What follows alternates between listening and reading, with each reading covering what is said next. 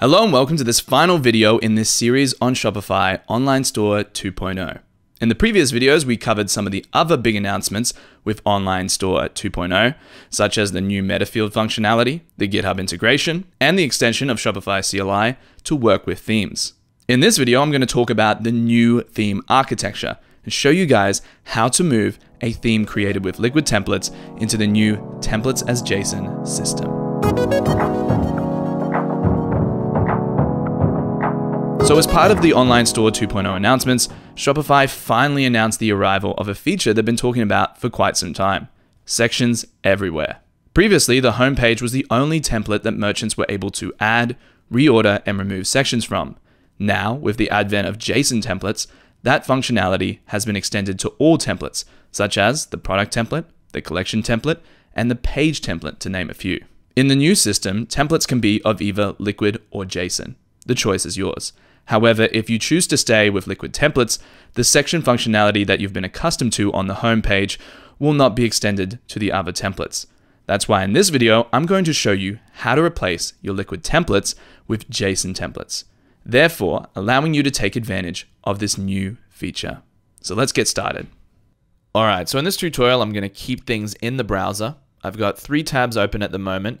Number one, my development store, Chris Testing Shop, as usual. And in the second tab, I've got the official documentation from Shopify on how to migrate a theme to the Online Store 2.0 system, which is essentially how to migrate your Liquid templates into JSON templates.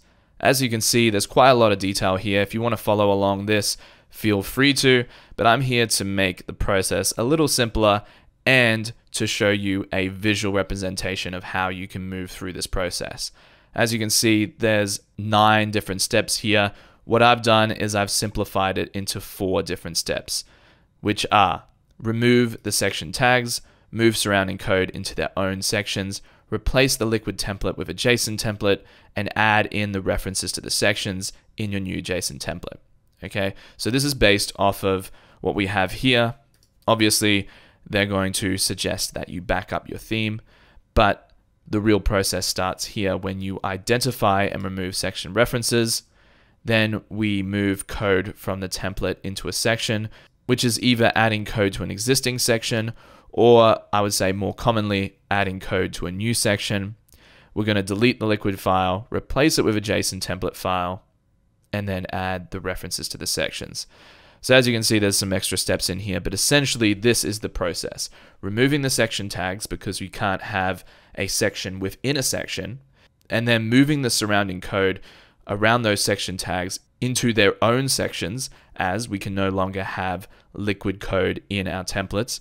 And then we're going to make that official switch from liquid to JSON and then add in the references to our new JSON template. So we're going to take out those liquid references to sections and then add those references in the new JSON template, which makes them dynamic and therefore allows you to go into the store editor and rearrange sections because it's stored in data rather than liquid. And right at the end, we will start to see that.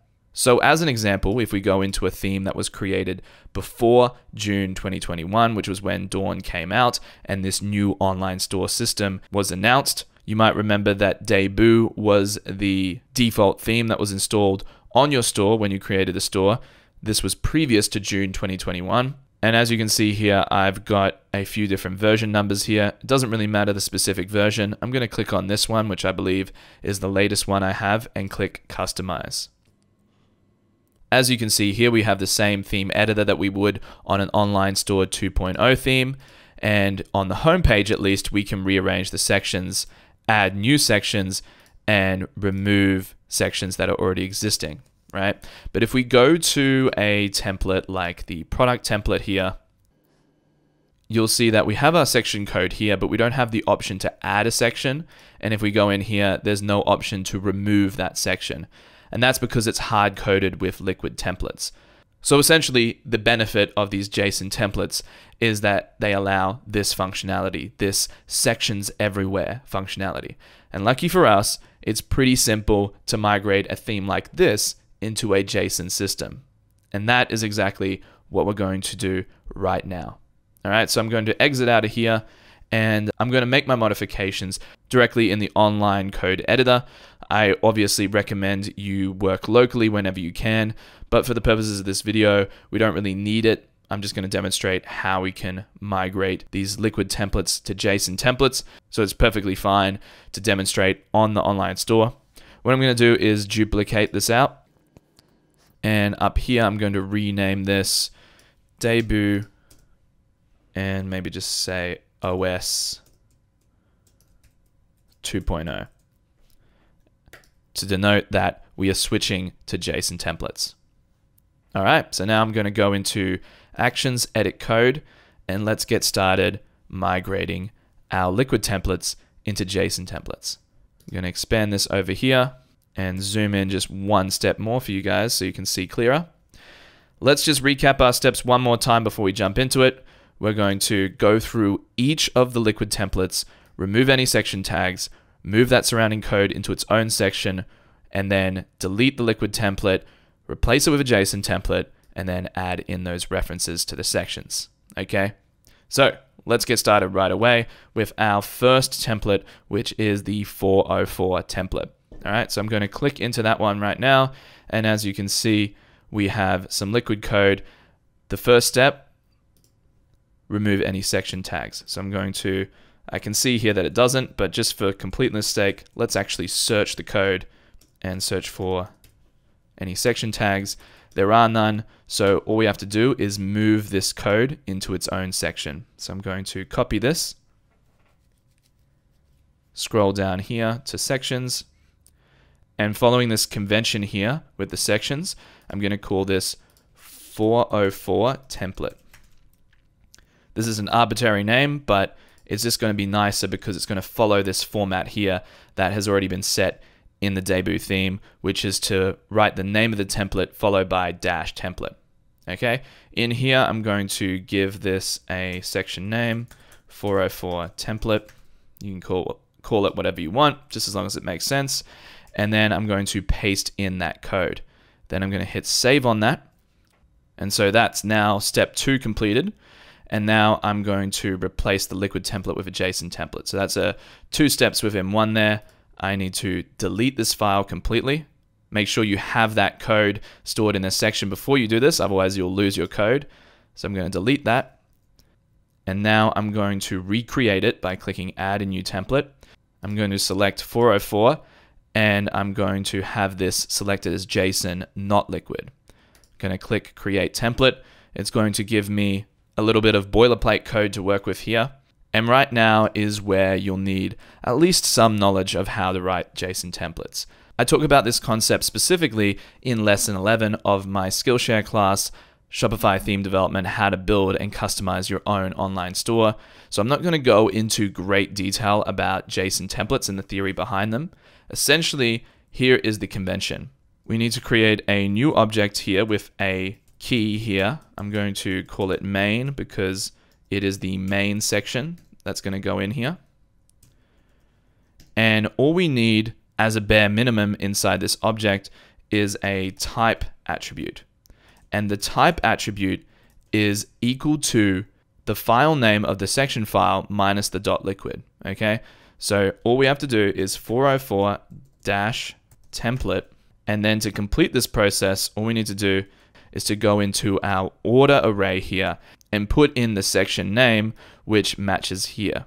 Okay, so a few steps there, but it's pretty simple. We create a section object with a key. If it's the main section, a good one to use is main.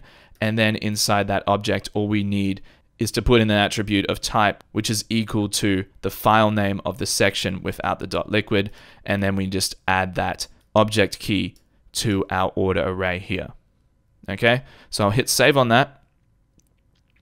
As you can see, asset is now saved. And if I go to customize theme now, I'm going to do that in a new tab.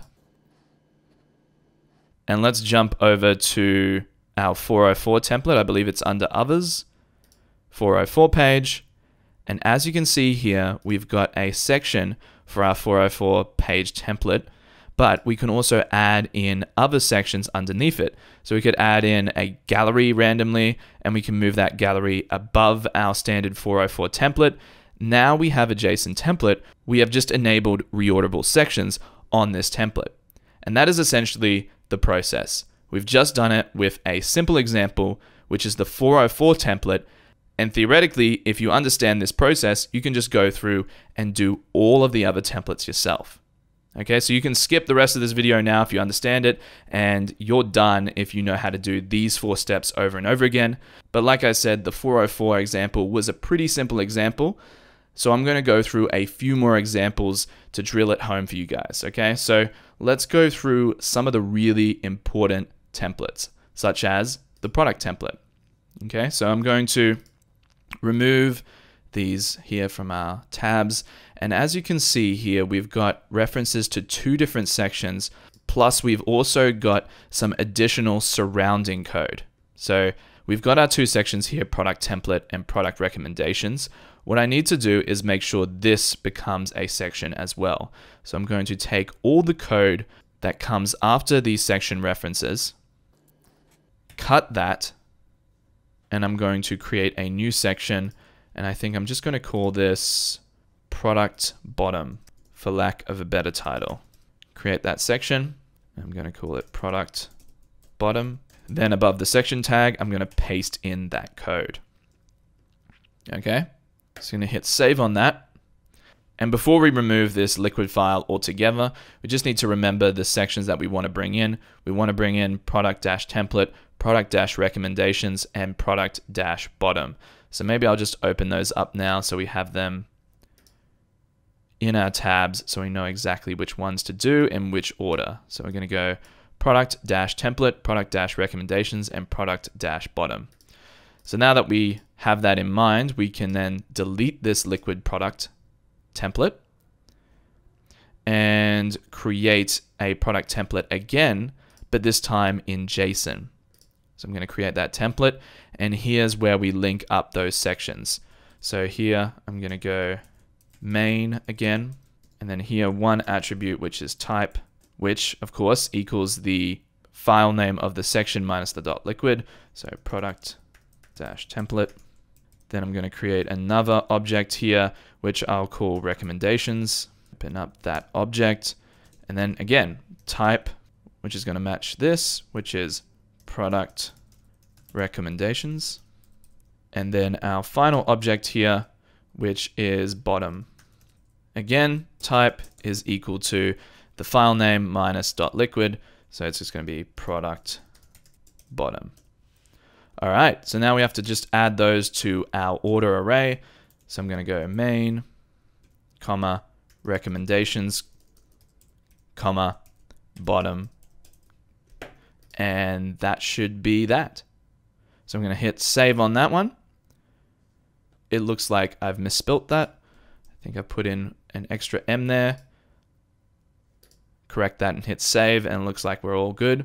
And now if I go to customize theme to verify that that has come across correctly, and I go into my product template here, might need to refresh to grab that new product template.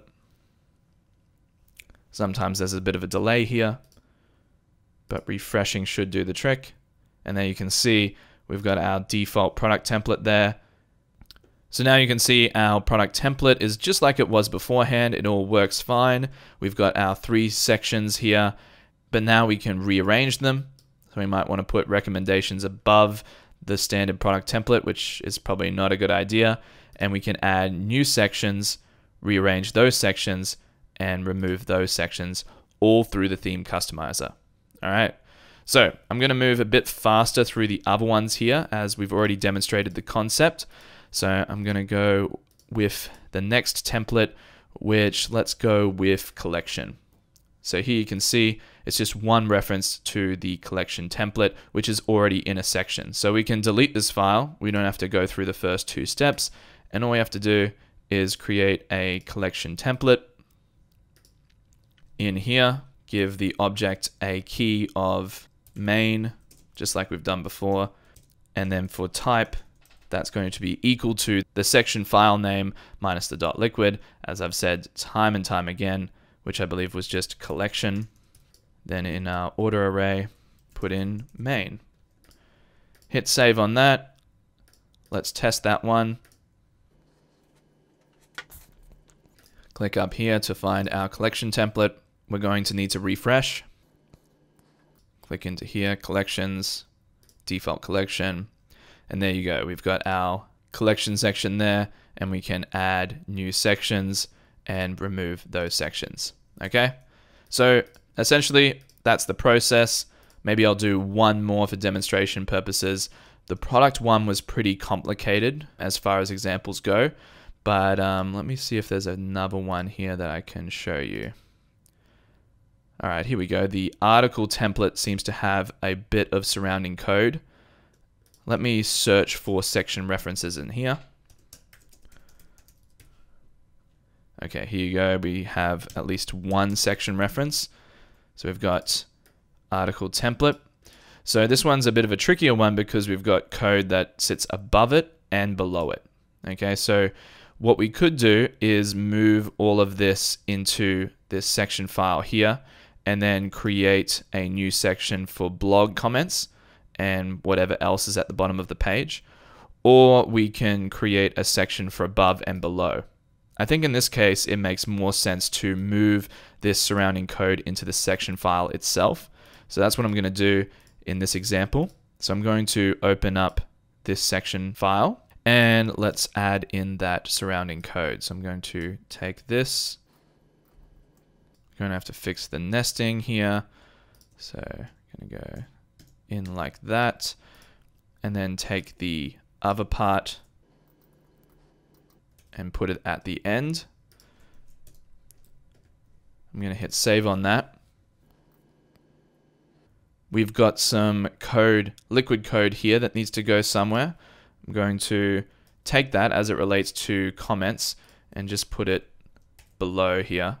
And what I'm going to do is create a whole new section for everything below this article template. So I'm going to take all of this code up to here, cut it, go into my sections folder here, add a new section, and let's call this article comments or article bottom, whatever you want to call it, bottom.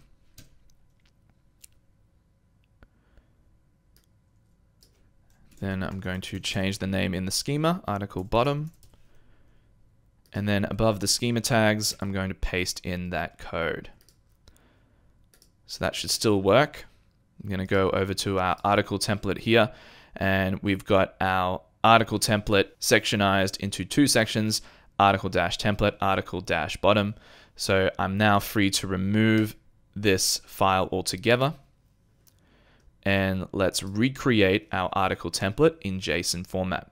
Click create on that, head into here, and just like we've done time and time again, I'm going to create a object with the key of main, type article template, second object here of bottom, which the file name for that one is article bottom, and then just putting those into our order array, main and bottom. All right, let's hit save on that one and let's double check that that is all working correctly. If I go into my customizer here, head into my template selector up here, find the blog post, which is essentially an article, and hit default blog post. You can see here that I've got the first section, which is posts, and article bottom. And again, as this is an online store 2.0 theme now, because we've used JSON templates, I can go in here create references to new sections, remove those, and reorder them. That is the power of Online Store 2.0, and it doesn't actually take that much to migrate a theme from liquid templates to JSON templates, which is essentially what an Online Store 2.0 theme is. So a lot of people are getting caught up in the, the drama of, oh my God, there's this new version of Shopify. Has everything changed? Not really. We can simply move our liquid templates into JSON templates and get the same functionality as any online store 2.0 theme. So if you want to upgrade to 2.0, you don't really have to create a whole new theme. You can simply migrate your existing theme to Online Store 2.0. We've obviously got some other templates here like blog and cart. These ones look pretty simple. They look quite similar to the situation we had in the collection template, but I encourage you to go through, change all of these, update these to JSON, and let me know how you go. If you have any issues, leave them in the comments below, but that is essentially the process. And if you're lost at any stage of this process, obviously have another read of the documentation. But for me, it's four simple steps. We need to remove those section tags, remove any surrounding code around those section tags into their own sections, replace the liquid templates with a JSON template, and add in those references to the sections in your new JSON template. Your store will look exactly the same, but the difference is when you go into this customizer now, you will have the ability to add new sections, remove those sections, and reorder them all through the customizer, which is something we never had as a possibility using liquid templates before June 2021 when Online Store 2.0 was announced. So that's it for today's video. I hope you enjoyed this video series on Online Store 2.0. Again, a reminder for my Skillshare students, all of these changes have been addressed in my three Shopify classes via additional videos that go further in depth on the Shopify CLI for themes and the new JSON templates. If you learned something new today, I encourage you to leave a comment and a like on this video, and I'll see you on the next one.